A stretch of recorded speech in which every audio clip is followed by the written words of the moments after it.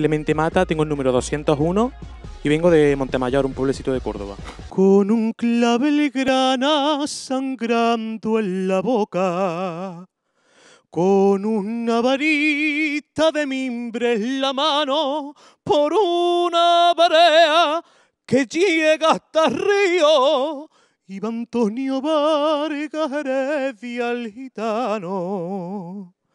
Entre los naranjos lunera